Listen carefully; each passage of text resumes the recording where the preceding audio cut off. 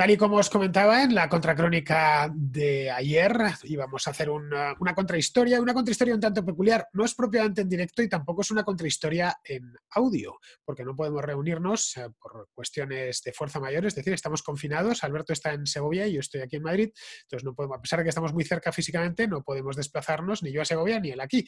Por lo tanto, la única manera que nos quedaba era hacer algo parecido a una contrahistoria, algo parecido a un directo, a una contra en directo, lo hemos dejado a mitad de camino, vamos a hacerlo en vídeo, estáis viéndolo, ya tenéis a Alberto aquí a mi izquierda, a vuestra derecha, lo tenéis ahí con sus cascos de color rojo, muy bien, su barba de arqueólogo y me tenéis a mí con este fondo que me he puesto de la contrahistoria.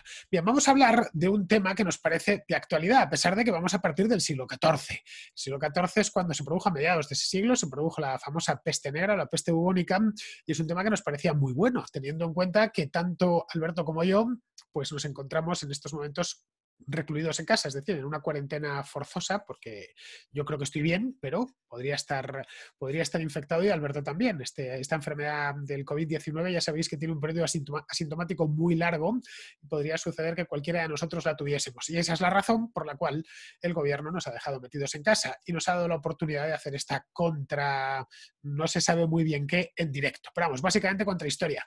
Muy buenas, Alberto. ¿Qué tal, Fernando? Buenas, buenos días, buenas tardes. Te veo muy bien, oye, estás muy bien equipado. Tienes como unos, unos auriculares de, piloto de caza, una cosa así, con un microfonillo por aquí y todo. Pero es porque mi trabajo en la universidad me pide que tenga lo mejor para poder conectarme con mis estudiantes.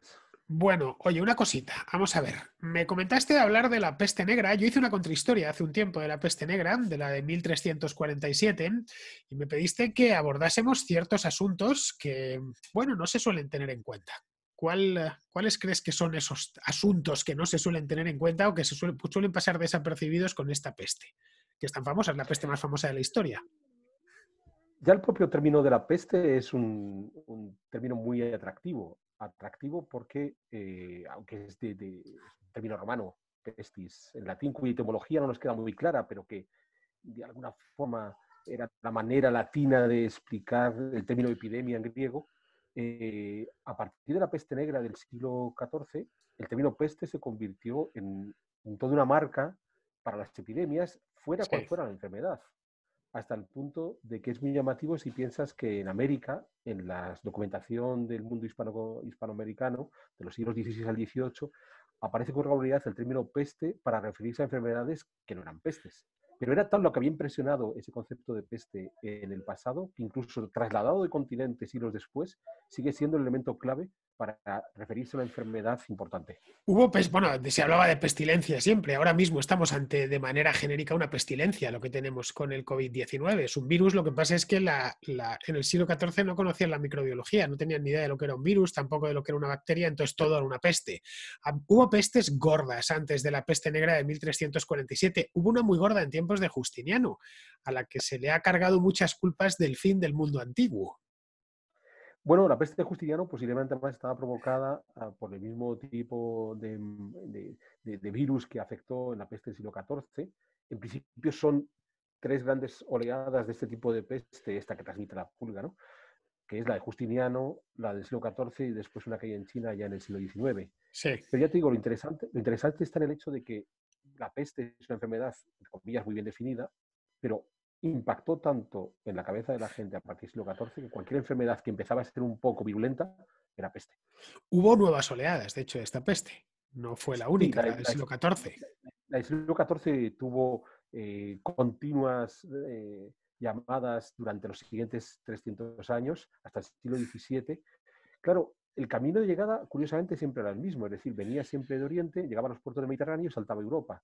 Eh, los, europeos, los europeos del momento, los que no se morían, se inmunizaban, pasaban unas cuantas décadas y volvía el mismo procedimiento. Volvía a llegar desde Oriente a los puertos del Mediterráneo y saltaba Europa, hasta que en el siglo XVII ya se lo toman tan a pecho que no pueden dejarla entrar, que sencillamente crearon grandes barreras físicas para la llegada de la peste. Entonces, el uso sistemático de cuarentenas en los puertos orientales o incluso en las fronteras entre el imperio austriaco y el imperio turco eh, una frontera biológica radical de cualquiera que venga con pinta de tener la más mínima eh, indicio de que es enfermo, no pasa. Bueno, de hecho hubo en Sevilla, en el siglo XVII, 1659, si mal no recuerdo, hubo una peste tremenda que arrasó la ciudad, que la dejó para el arrastre. De hecho, Sevilla tardó siglos en recuperarse y era una peste bubónica, entendemos, porque la medicina de la época daba lo que daba, no se hacían análisis clínicos, por supuesto. Ese es el ejemplo del concepto peste hasta dónde llega. En efecto, ya sufre una epidemia brutal. Eh, dentro de la crisis generalizada del siglo XVII, Sevilla vive esta crisis demográfica muy específica que, como tú acabas de decir, le hace perder la población de una forma, de una forma dramática. ¿Era peste bubónica? Mm, no lo tenemos claro, porque como te digo, el problema es que el término peste se instala, se inserta en la documentación histórica y en el momento que los seres humanos ven epidemias muy virulentas, para ellos todo es peste. Como te dice, incluso en América, donde jamás llegó la peste bubónica, hay documentación donde aparece el término peste y tienes historiadores actuales que cuando ven el término peste inmediatamente están pensando en el siglo XIV trasladado a América. Claro, lo que llegó a América, por ejemplo, fue una peste de viruela. Es decir, que empezaron a infectarse viruela básicamente, pero no era peste bubónica. La peste bubónica la producía una bacteria concreta, la Yersinia pestis, y tenía unos síntomas muy claros. Bueno, desaparecían bubas por el cuello, de lo de bubónica, y ah, bueno, devastaba, los, devastaba la salud de los infectados en cuestión de días y los mandaba para el hoyo, ¿no? El impacto de cualquier... Sí, sí, dime, dime. Eh, decía que es curioso porque en el caso de la viruela, posiblemente también habla de la famosa peste eh, del siglo V antes de, antes de Cristo en Grecia, la que mata a Pericles, que posiblemente era viruela, la que sufre Marco Aurelio durante sus campañas militares, que él mismo muere, que también posiblemente es viruela, pero que cuando los, los, historiadores a partir del siglo XIV tienen que reescribir el pasado, como ellos lo que están viendo en las fuentes es, fíjate, en los tiempos de Pericles hubo una gran epidemia que mató mucha gente, en los tiempos de Marco Aurelio hubo una gran epidemia que mató mucha gente.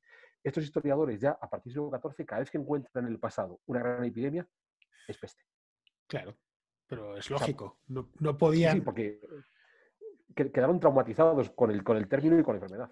¿Fue, fue realmente tan impactante? sé que sí, pero quiero que me aportes un poco de conocimiento y sobre todo que nos lo aportes a, se lo aportes a nuestros espectadores, que hoy aparte de oyentes también nos están viendo, Alberto, y esto ya eh, de por sí es, están viendo cuán atractivo eres, y eso no está mal, porque hasta ahora solo te conocían la voz y ahora ya te pueden ver la cara. Realmente fue un impacto brutal sobre la población europea de la época porque la diezmó, bueno, más que la diezmó. En algunos lugares de Europa eh, murió la mitad de la población. Con la peste negra estoy hablando. Sí, sí, indudablemente la peste negra supuso un impacto para la sociedad a mediados del 14 increíble. Un impacto en el momento inmediato por la mucha gente que muere, un impacto a muy largo plazo por una serie de transformaciones a nivel eh, económico, cultural, político, que podemos tratar a continuación. Pero si pensamos en el, impacto inmediato, hay algo que, a pesar de todo, eh, posiblemente la relación que esta gente de mediados de 14 tenía con la muerte muy diferente a la que tenemos nosotros. Y sé que es un tema entre triste y escabroso.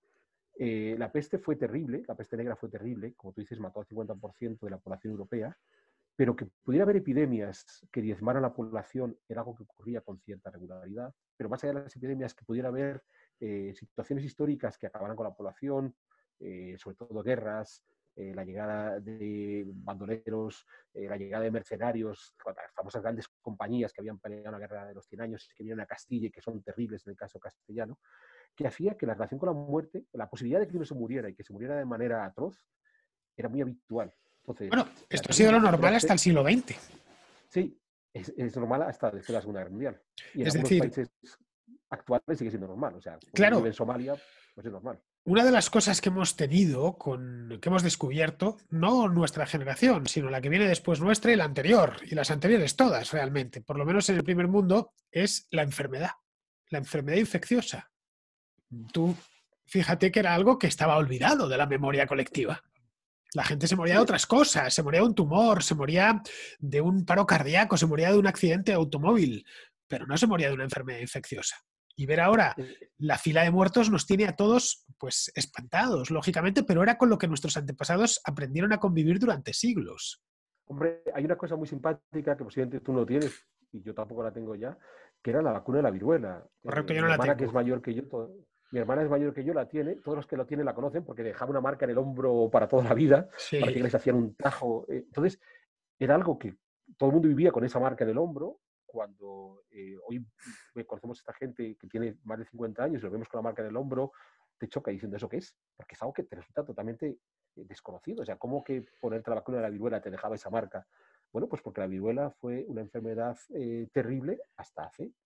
Hasta los años, pues hasta los años 60. En los 70 es cuando se, declara extinguida, definitivamente desaparece, se, documenta el último caso y a partir de ahí la viruela ya desaparece por completo. Por lo tanto, los que ya nacimos a partir de los 60, de los 70 no nos, no nos vacunaron.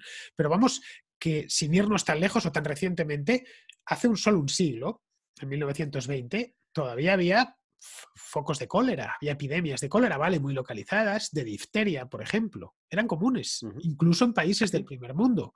Contaban, creo que era Björn Lomborg, no, no, no era Lomborg, era otro, era otro, otro autor nórdico, no recuerdo el nombre ahora, contaba que en el siglo XIX, a finales del siglo XIX, Estocolmo, que está en, una, está en la costa del mar Báltico, pero en una zona, en una, especie de fiordo, es un golfo con una, una, ensenada, vamos, que aquello que hoy lo vemos y es todo tan bonito, era, estaba básicamente lleno de basura y que la ciudad era sucia y que las enfermedades estallaban cada dos por tres. Estocolmo, finales del siglo XIX. Y que era normal que los niños muriesen es, muy curioso cuando eh, estudiamos eh, la historia del urbanismo del siglo XIX, cómo en gran medida las grandes transformaciones urbanas es a golpe de epidemias de cólera. O sea, la famosa epidemia de cólera de 1830-32 que arrasa ciudades como Londres o París y que les obliga a reestructurar todo el sistema de traída de agua limpia, alcantarillado y lo que eso implica. tienes que lograr que todo ese sistema funcione. Entonces, es uno de los grandes hitos en la, la reforma de la ciudad industrial y está asociado a epidemias de cólera. Bueno, de hecho, el cementerio de la Almudena en Madrid, que es el mayor cementerio de la ciudad, el cementerio del Este, en origen era un cementerio concebido para una epidemia que hubo creo que en 1876 y se le llamó al principio cementerio de epidemias. Es como se le conoció precisamente porque había era común que hubiese epidemias en el Madrid de 1870, que es muy reciente en el tiempo. Sí, por eso te digo que es algo que para hoy, 2020, nos choca, nos choca en el primer mundo porque como tú comentabas en una contracrónica, no sé si ayer o antes ayer, hay lugares del mundo como el Congo donde pueden vivir, ya no solamente es el ébola, es que el sarampión en África sigue siendo una enfermedad terrible, que es algo que, en el primer mundo ni nos acordamos, porque todos nuestros niños están vacunados, incluso hay quien se toma el lujo de no vacunar a su niño, en África sigue siendo una constante, pero en efecto nos hemos olvidado de las enfermedades infecciosas en el primer mundo y eso hace que nos choque mucho más lo que estamos viviendo hoy. Claro, tenemos un. Eh, estamos no solo no inmunizados contra el, eh, el, virus, el coronavirus, este maldito, sino que no estamos inmunizados contra la idea misma de la enfermedad incurable, de la enfermedad infecciosa incurable, por lo menos. Eso es, infecciosa incurable y que puede provocar una gran mortandad en un periodo de tiempo muy corto. Y que se contagia de una persona a otra. Porque claro, además, si tú andas delicado del corazón, no le puedes pasar tus problemas al vecino. Te puedes morir de ellos, pero no se los puedes pasar. Tampoco le puedes traspasar un tumor, pero sí le puedes traspasar el coronavirus o cualquiera, o cualquiera de estas. De ahí que yo creo que el conocimiento de la historia de las enfermedades hoy es más oportuno que nunca teniendo en cuenta cómo nos encontramos, el estado en el que estamos. ¿No te parece a ti? Pues es pertinente sobre todo para entender, que es lo que te decía antes, en el caso de la peste negra del siglo XIV, las ciertas consecuencias eh, jurídicas y políticas que tuvo en esencia, en algunos casos de éxito económico, curiosamente, parece, parece triste pensar en éxito económico a partir de una mortandad tan, tan dramática como la peste negra, y de cierta restricción de libertades a partir de lo que ocurre en esa peste de 1347-48. Bueno, en aquel entonces la, la Europa del siglo XIV es algo que no se suele pensar, pero la Europa del siglo XIV era tremendamente próspera la Europa de 1347. No es la idea de la Edad Media atrasada, em, oscura, cerril que tenemos. Era un lugar que se tardó tranquilamente dos siglos en recuperar los niveles previos a 1347. bueno, en el caso de la, Edad Media Oscura, que es, es, algo que los medievalistas debaten mucho, por qué le ha caído esa losa encima de la Edad Media, sí en la Edad Media Oscura, cuando hacíamos nuestra contrahistoria de las ciudades medievales, hacíamos referencia a ello, más en el norte de Europa. Cuando estás hablando del Mediterráneo, el tránsito por la media no es tan eh, terrible. Claro, todo esto hay que saber matizarlo. Que te caigan sobre tu cabeza los pueblos germanos es terrible, que te caigan sobre tu cabeza los eslavos y los búlgaros y los vikingos y los musulmanes es terrible, pero forma parte de las vicisitudes del ser humano. Pero sí que había ocurrido algo para ya mediados del siglo XIV, es que esa expansión económica que había tenido Europa en general y el mundo mediterráneo en particular, empezaba a llegar a, cierto tope. Eh, pensemos en los paisajes rurales que tenemos en España. Pensemos cuando salimos de, si tú vienes a verme a Segovia y cruzas la Sierra del Guadarrama, tienes que cruzar unos pinares exquisitos y al otro lado de la sierra, cuando vayas a llegar a mi pueblo, vas a encontrarte unos encinares gigantescos. Todo eso no es natural en el sentido de que son bosques primigenios que existen desde el origen de los tiempos. Todo eso son... Eh, Repoblaciones, ¿no? Campos que se perdieron. En el caso de los pinares de Guadarrama es una cosa de Felipe II, pero porque repuebla un territorio que había sido previamente eh, cortado completamente para el cultivo. Y en el caso de los encinares que tenemos ya en la zona de Segovia es una situación similar, en algunos casos vinculado a la despoblación contemporánea, pero en otros al mundo medieval. Entonces lo que ocurre es que para comienzos del siglo XIV están empezando a cultivar terrenos que no son tan fecundos como los que podían tener en el siglo XII, en el siglo XIII. Es decir, la cantidad de, eh, de, alimento que ellos reciben de los cultivos cada vez es menor, a pesar de que la cantidad de terreno cultivado cada vez es mayor. Bueno, está... lo que provoca, sí. es lo que provocó fue un cierto desequilibrio en la alimentación de los europeos de mediados del siglo XIV. En el momento en el que más territorio estaban cultivando, es el momento en el que producen menos cantidad de comida por por, hectárea, menos cantidad de comida por, superficie de terreno. Entonces, claro, eso generaba ciertos desequilibrios alimenticios sobre los que la peste bubónica tuvo un campo fértil para poder actuar. Bueno, se formó un cuello de botella. Es decir, los, a partir de finales del siglo XII empiezan a cultivarse y a roturarse campos que no son, que son marginales y de los que, los que la productividad es mucho menor. Eso es. Pero con, todo, esto no nos tiene que llevar a pensar que es una enfermedad de pobres, que es lo que estamos viviendo también con el coronavirus. Es cierto que estar mal alimentado frente a cualquier enfermedad infecciosa de cualquier otro tipo siempre es un agravante, te va a llevar antes la parca porque estás peor alimentado, pero este tipo de enfermedades infecciosas están mucho más relacionadas con los hábitos sociales que con la propia condición eh, eh, alimenticia. Entonces, igual que nos ha pasado con el coronavirus, en el siglo XIV hay un contacto fluido, es un mundo dinámico donde el comercio es algo habitual y, por tanto, muy rápidamente eh, el virus se transmite por toda Europa que además una parte importante de la población está mal alimentada, pues se morirán, pero se murieron reyes. O sea que la peste bubónica afectó por igual, por igual a todas las clases sociales. Bueno, ahí sería la peculiaridad de que era tremendamente contagiosa y tremendamente mortífera y que pilló a todos los europeos sin inmunizar y sin haber tenido contacto a una cepa de virus, de virus, perdón, de bacterias, porque era una bacteria como aquella. Es decir, fue una especie de tormenta perfecta. Las ciudades tenían más población que tres siglos antes, luego se distribuyó a mucha velocidad, la higiene dejaba mucho que desear, como bien sabemos, no ya la de la Edad Media, sino la de hace solo siglo y medio, y eso facilitó. Sobre, todo en Norte Europa, los mediterráneos siempre fueron más limpios. ¿Y eso en qué lo fundamentas? A ver, yo te creo, pero ¿en qué lo fundamentas? Porque ahí estás, estás diciendo que los ingleses, alemanes, daneses, suecos, holandeses y demás eran un poco guarri guarri. O, franceses también. sí, porque Francia realmente tiene medio país en el norte y otro medio en el sur. O sea, es, muy interesante, eh, es la famosa anécdota, ¿por qué los franceses del norte desarrollan esa industria del perfume, sobre todo en la edad moderna? Es por lo mal que olían pero es más, es muy divertido todos los retratos de personajes nobles del siglo XVII y XVIII donde ellas aparecen siempre con un pañuelo. Entonces el pañuelo no es un elemento distintivo de elegancia, es que tenían que utilizarlo para taparse la nariz del mal olor que olía. Bueno, en la peste negra, el doctor de la peste negra, supongo que habréis visto esas imágenes de los... Bueno, voy a ver si, si me acuerdo, meto, es que ahora mismo no sé cómo se hace, pero meteré luego en edición una imagen del doctor de la peste negra, se ponía como un pico en el que se lo llenaba de eh, algodones y, bueno, eh, tejidos con, que estaban impregnados de distintos olores, porque realmente ellos pensaban que la enfermedad se transmitía a través del olor, lo cual no es una mala intuición. Ah, no era la correcta, pero no es una mala intuición. No era una mala intuición, es decir, se transmitía a través, eh, ellos pensaban, ¿no? Que se transmitía a través de, del aire, pero no propiamente del aire, del olor. La realidad es que esa iba saltando, de, saltaba de las ratas, era una pulga, el vector era una pulga, que pasó de las ratas a los seres humanos. Claro, en un ambiente que en sí convivía con... Hoy, a ver, ¿hace cuánto tiempo no ves una rata, Alberto? Bueno, ya aquí en mi pueblo la vi hace dos días. Bueno, pero, es un ratón de campo. Digo, una rata. Una rata no, no es habitual, no es un paisaje habitual. Yo ni me acuerdo cuando fue la última vez que vi una rata en Madrid. No sé, muchísimos años. El, seguramente si bajo la alcantarilla veré alguna, pero digo que no, no estamos acostumbrados a vivir con ratas. En cambio, los europeos del siglo XIV estaban muy habituados a convivir con ratas y tenerlas en graneros y demás sin problemas.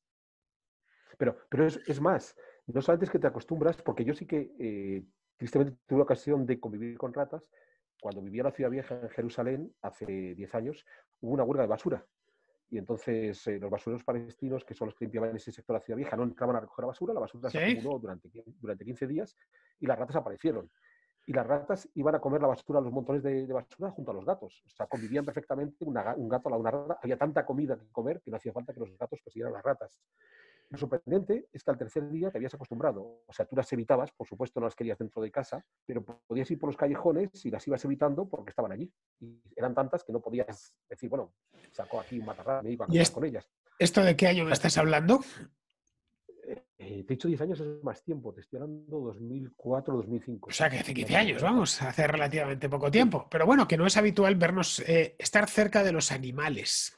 Las ciudades... ya digo, pero curioso que cuando, cuando ocurre, aprendes a convivir con ellas sin mayor dificultad. O sea, tomas medidas para que no se te metan en casa, pero asumes que están en la calle, entre la basura, y lo asumes y vives con ellas. Claro, porque a veces estamos eh, con el tema del COVID-19, estamos un poco con la idea de que esto proviene de, no se sabe bien de qué animal ha venido, pero que están prácticamente todos los científicos de acuerdo en que es algo zoonótico, que viene de un animal.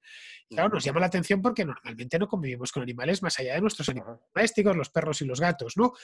Pero es que hay muchas partes del mundo en las que sí se convive con animales y es de hecho lo habitual que se ha hecho a lo largo de la historia. Tener animales cerca. Jesús en el pesebre tenía unos bueyes al lado, ¿no? Sí, además, como dijimos en nuestra contrahistoria, era una forma de darle calor natural al recién nacido. Pero tú viviste en Guatemala y me acompañaste a aquel pueblito de Alotenango. En Alotenango eh, hay gente que tiene una casa aparentemente normal desde la calle y cuando entras descubres que donde tú tendrías aparcado eh, tu coche, eh, tu automóvil, ellos pueden tener un caballo o unos cerdos. Correcto. Y están ahí y, y ellos comen a la par de donde está la yegua o donde están esos cerdos. Y esto luego en, la peste negra del siglo XIV se dio otra circunstancia y es que a perros flacos no todos son pulgas, el viejo refrán. Es decir, que conforme iba avanzando duró varios años, es decir, no se pudo salir de este brote de peste hasta tranquilamente cuatro años después, porque fue yendo de entró por Italia, primero, primero, bueno, hizo estragos en el sur de Francia y lo que es España, y luego ya fue hacia el norte, y conforme iba avanzando, iba haciendo que muriese gente que por lo tanto las, las cosechas no se pudiesen recoger, luego la situación era peor para los que quedaban vivos. Se pues alimentaban peor todavía. Era una especie de pescadilla que se mordía la cola de círculo vicioso maldito, diabólico.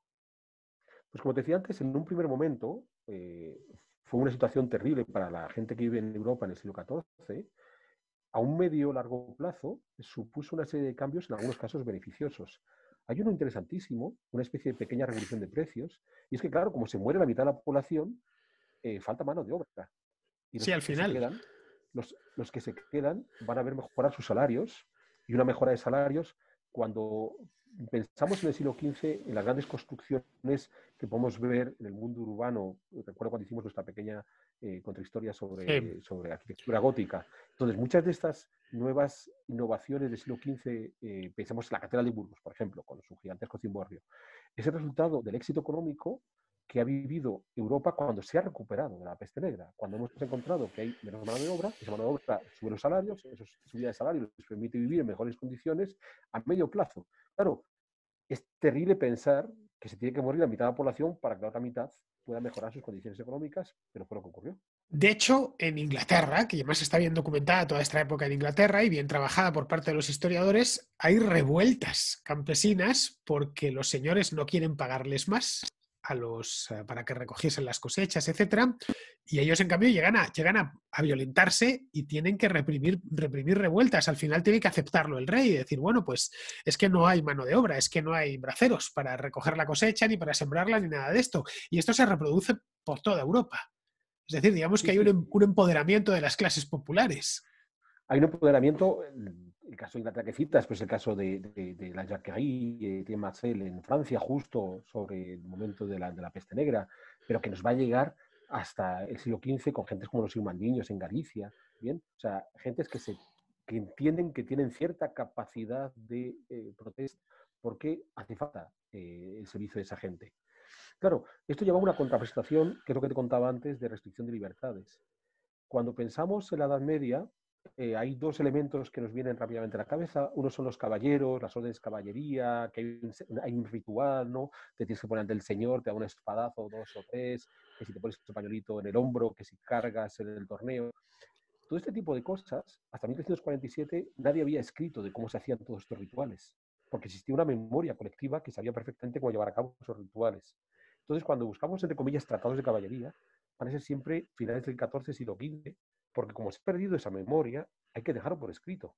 Correcto. Lo mismo ocurre con los, lo mismo ocurre con los gremios. Cuando pensamos en el modelo gremial de maestro, oficial, aprendiz, con unos contratos muy cerrados, muy bien establecidos, nada de esto estaba escrito hasta después de la peste negra. Ahí hubo un, un historiador polaco asentado en Francia, Greme, que lo estudió muy bien, mostrando el cambio que hay antes y después de la peste negra. Entonces, claro, después de la peste negra es cuando se establecen unas ordenanzas muy cerradas, donde cómo es el examen para, claro, antes de la peste negra, todo el mundo se conoce, el maestro herrero o el maestro carpintero, todos sabemos quién es, y tenemos que pensar, se ha muerto la mitad de la población, yo en mi pueblo necesito un maestro herrero, y llega un señor de algún lugar que dice que lo es. Y yo no sé quién es porque como hemos perdido la memoria colectiva que, une, que me une a ese señor que acaba de llegar, entonces fue necesario renovar por completo todo el sistema gremial.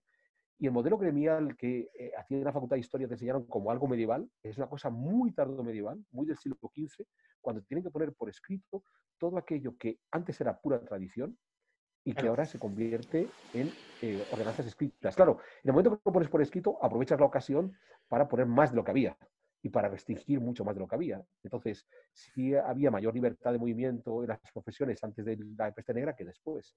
Después, aprovechando que lo estoy poniendo por escrito, no solamente exijo que tenga un maestro que ha sido a su vez aprendiz por X número de años, oficial por X número de años, y además ha pasado ciertos exámenes, todo ese tipo de cosas, Geremek demuestra como en el siglo XII o XIII no existía. Pero en el siglo XV sí aprovechamos que estamos legislando para hacer mucho más eh, coactiva esa, esa actividad.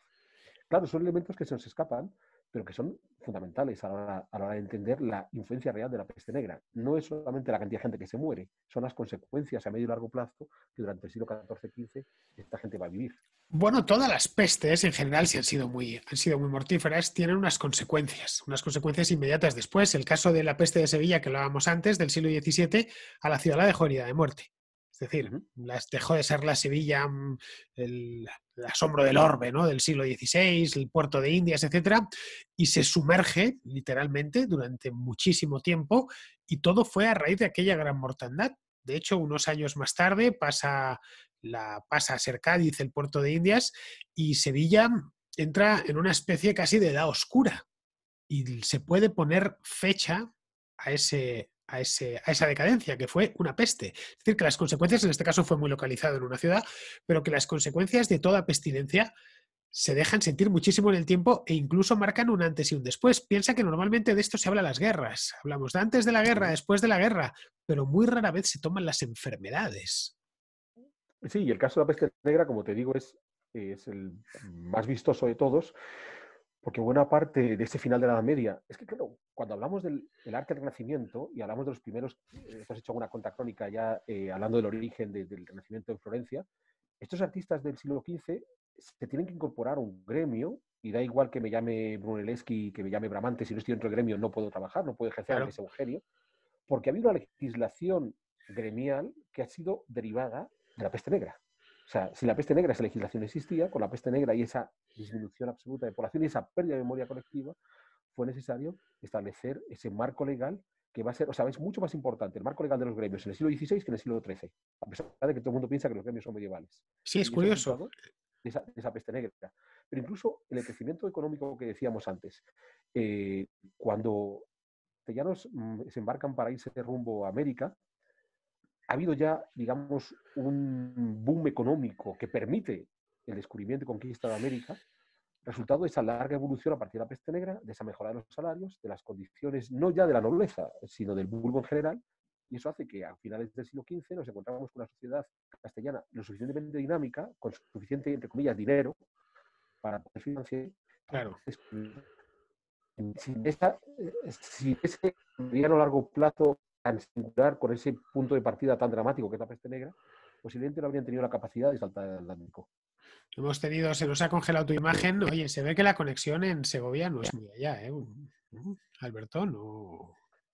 ¿Ves cómo hay, que, estar en, ¿ves cómo hay que estar en Madrid? ¿Te das cuenta? es que aquí no para, de, no para de nevar, no para de nevar. Aquí, aquí no para es de, lo que no para es de llover. ¡Qué barbaridad! ¡Qué principio de mes de abril! Bueno, todavía no ha terminado, pero vamos, en breve, en unas horas lo empezaremos el mes de abril y estamos prácticamente en invierno. Oye, ¿está nevando allí, por cierto? Sí, sí, ha estado, nevando, ya se ha, derretido porque ha caído lluvia. O sea, se pasa, ha pasado los dos últimos días, nieva, se derrite, nieva, se derrite, pero esta mañana teníamos nuestros 5 centímetros de nieve a gusto. Sí, la, la, conexión parece ser que está fallando un poquito, ahora parece ser que se restablece. Ya sabéis, estos son los problemas del directo. No es directo, pero bueno, lo estamos grabando como si lo diésemos en directo. Y bueno, el, eh, ¿dónde nos habíamos quedado? En el tema este de las consecuencias de la peste negra. Aparte de eso, tuvo consecuencias políticas directas la peste negra estoy hablando. Tiene consecuencias políticas en la propia configuración política del continente europeo, por lo menos de la Europa occidental. Tuvo consecuencias también para el, Oriente europeo. Es cuando se cuelan en aquel entonces los otomanos en la península, en la península de Anatolia, que son los que terminan dando la puntilla al Imperio bizantino, un siglo más tarde. En, en Occidente se conforman los grandes reinos. Se terminan de conformar, por lo menos. Sí, porque como te estoy diciendo, es el momento en el que se establecen estos nuevos marcos legales que en el caso de las monarquías nacionales aprovechan para ir poniendo legislación para... Claro, si previamente no existía legislación porque la memoria colectiva era el recipiente donde estaba todo ese, contexto jurídico, la ausencia de esa memoria colectiva lo que te permite es recrear por completo eh, la situación histórica. Entonces puedes inventarte leyes donde no las había, puedes generar obligaciones y privilegios donde no los había, porque nadie te va a contradecir. Bien, eh, hay un ejemplo muy concreto, muy dramático también, durante el conflicto armado en Guatemala, el que se vive de los años 60 a finales de los 90. Eh, hay comunidades que son arrasadas, por tanto se pierde esa memoria colectiva y hay que rehacer completamente, por ejemplo, la propiedad del territorio. O sea, ¿quiénes son dueños aquí? Si los anteriores dueños han desaparecido y nadie me puede decir a qué familias pertenecía eh, cada, cada, pradera, cada, cada sembradío. Pues esa situación que conocemos en Guatemala, en el mundo contemporáneo, la podemos trasladar a mediados del siglo XIV, entendemos perfectamente cómo la desaparición de esa memoria colectiva permite la creación ex novo de todo un marco jurídico diferente. Y ahí aprovechan las monarquías nacionales para reforzarse. De una nueva era, sí. Luego que habían quedado muchas, eh, muchos señoríos habían quedado tocados, habían perdido incluso al propio señor. Y es donde los por supuesto, que Enrique II, el de las Mercedes, pueda generar una nueva nobleza, en gran medida la peste negra le ha ayudado. Mucha de la vieja nobleza se ha muerto. Claro. Entonces, tengo, tengo facilidad para hacer esa nueva nobleza. O sea, son elementos que por general no vinculamos. Nos imaginamos a, Enrique II en su lucha contra Pedro el Cruel, que es el rey que gobierna durante la peste negra. Eh, parece que ha eliminado a todos sus enemigos y en realidad no es que él físicamente haya tenido con espada a mano eliminar enemigos. Muchos, la enfermedad se los ha llevado. Entonces, es una ocasión ideal para Enrique de poder crear una nueva nobleza. Sí, de fortalecer el poder, del, poder del monarca, que en Castilla terminó siendo muchísimo más determinante que, por ejemplo, en Aragón, donde había una especie de... bueno, el rey de Aragón no tenía las mismas prerrogativas ni las mismas facilidades que tenía el de Castilla, y en buena medida se debió a que durante el siglo XIV, aparte de conquistar Andalucía, se, el rey se, supo imponer, no tanto como lo haría posteriormente, sobre los, eh, señores locales, los, aristócratas que venían de la reconquista, con, en algunos casos muy fortalecidos y quedan completamente tocados por esto. Por lo más se les han muerto los campesinos. Eso es, y, quedan tocados porque les falta mano de obra para poder cultivar sus campos y tener riquezas para, para pagar soldados o, o pagar mercenarios, o sencillamente porque se murió el señor. Claro. Efectivamente. Bueno, pues eh, llevamos ya lo tonto, Alberto. Fíjate, nos hemos hecho, estoy mirando, porque es que el cacharro este, que es maravilloso en todos los aspectos, no me da un contador. No sé ni cuánto tiempo llevo grabando, lo cual me irrita un poco. Llevamos grabado aproximadamente, yo le calculo, media hora, una cosa así, y quizá me estoy quedando corto. Bueno, yo creo que con esto nos sirve de, primera introducción a estas contras en directo, eh, por lo menos contra historias, no en directo o en diferido directo. ¿Crees que podríamos aportar algo más o damos este programa piloto por terminado? Creo que las ideas generales hemos, las hemos transmitido, ¿no? Correctamente, así que sí, podemos dar por cerrado este programa piloto. Sí, podemos dar, sí, creo que son 40 minutos, una cosa así. Bien, pues eh, con esto yo creo que bueno, hay que agradecerle ante todo a, Alberto Arín, que está ahí en Segovia, pasando frío, frío de verdad, con nieve, no como yo, que tengo la lluvia, seguramente lo oiréis por el micrófono que está cayendo encima de la claraboya. Vamos, que llueve como si no, como si se fuese a acabar el mundo mañana. No ha parado en 24 horas. Y además con un frío helador, una cosa que no hay quien lo aguante. Yo no soporto el frío, es una cosa que no puedo con ello. Bueno, pues este año se está haciendo esto larguísimo. Es decir, por si fuera poco lo del confinamiento, encima confinamiento con frío. Bien, pues con esto, queridos amigos, Alberto Garín, muchas gracias. Eh, vamos a ver qué tal sale este experimento y si los seguidores del programa le dan el visto bueno, que al final son ellos los que mandan. Eso es, eso es. Entonces espero, espero que les haya gustado. Van a pedir que te pongas un fondo en condiciones, eso como el que tengo yo puesto aquí. ¿Mm? Una cosa así. un micrófono en condiciones? No, un micrófono por descontado, pero digo un fondo. Un fondo como ah. que me he puesto yo aquí virtual. Esto no existe, es decir, no penséis que tengo aquí esto, una cosa blanca. Bueno, no traéis porque la diadema de los auriculares eh, no termina de entenderlo muy bien. Pero bueno, pues nada, Alberto, con esto y un bizcocho ya podemos, iba a decir hasta mañana a las 8, pero no, es decir, hasta dentro de un rato cuando tenga debidamente editado esto y pueda subirlo al canal. Vamos a ver, ha sido un gusto tener a Alberto, ya se lo he dicho, y como siempre ha sido un gusto teneros a vosotros. Perdonad los problemas que pudiera haber habido por la conexión. La conexión no es la mejor, como os podéis imaginar, y más con la cantidad de tráfico que hay en Internet. Pero bueno, ya una última cosa. Si tuviera alguien que leer algo sobre la peste negra, ¿tú qué le recomendarías, Alberto? Si tuvieran que leer algo sobre la peste negra, ¿qué le recomendaría? No tiene por qué ser un libro sobre la peste negra, sobre esa época. No lo sé. Ahí me dejas ahora un poco fuera de juego. Un libro de esa época. ¿Sabes? ¿Sabes? O sea, tú sabes que yo soy, yo soy muy afrancesado. Lo sé, eh, desgraciadamente. Estudié, buena parte de mi carrera. Entonces, cualquiera de los libros de Legoff sobre la época medieval, cualquiera de ellos, de, de Jacques Legoff, incluso que sean los más sobre metodología, eh, libros como el de por qué no hay, por qué hay que cortar la historia en pedazos y cosas así. Sí. Son muy interesantes porque eh, buena parte de lo que yo te estaba contando aquí eh, lo aprendí bien leyendo los libros de Legoff, bien porque me lo contó, me lo contó él en persona. Y entonces esa visión menos oscurantista de la Edad Media, pero también todo lo que tiene que ver con las repercusiones económicas, culturales y políticas de la peste negra, Claro, el mejor libro es el de, el de que, he citado antes, ¿no? El del artesanado asalariado en París, la Baja Edad Media. Lo que pasa es que creo que solamente está la edición en, francés, porque explicaba esas consecuencias a medio y largo plazo económicas de la peste negra. Pero si es difícil encontrar el de Gueremec, quizás un tanto aburrido, porque está... Legoff está en castellano, yo tengo libros suyos. Sí, Legoff, al contrario, es un, es un autor al que hay que leer más interesante que, otros medievalistas franceses como, como Duby o, o Regine Pernoud, porque estos son un poco etéreos, estos se me van mucho por las ramas y no me aterrizan en, la gente normal.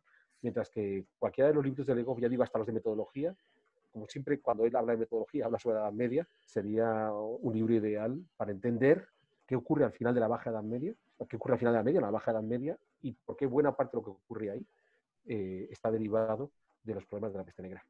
Muy bien, pues con esto yo creo que ya podemos dar por acabado este primer experimento. Vendrán, más, pero solo vendrán más si os gusta, nada más. Es decir, si no os gustan, no volveremos a meternos sin permiso en vuestros hogares, pero si os gusta, lo volveremos a repetir con otro tema, por supuesto, y a ver si termino de controlar yo esta aplicación, que funciona muy bien. Pero bueno, pues nada, querido Alberto, con esto, ya sabes, despídete de la audiencia, de tu querida audiencia, que sabes que te adora hasta al menos la próxima contrahistoria, ¿no? Pues muchas gracias por permitirme participar, aunque sea por este medio internautico, y como tú dices, espero que a nuestros escuchas les guste ya, ahora ya eh, televidentes les escuche este formato y podamos seguir utilizándolo. Muy bien, queridos amigos, pues con esto me despido de vosotros hasta la próxima contrahistoria en directo.